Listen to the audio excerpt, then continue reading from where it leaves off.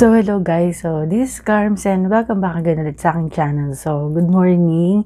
So, today is February 12 yun. So, happy Chinese New Year. ayun. Uh, for today's video, ayun.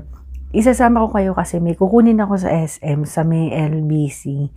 So, ito na yung matagal kong inaantay. Ayan, sa mga nabanggit ko, yung mga nakwentuhan ko na nito.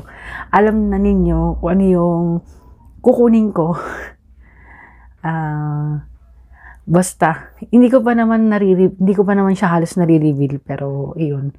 Today is the day, kukunin na natin siya. So, tara!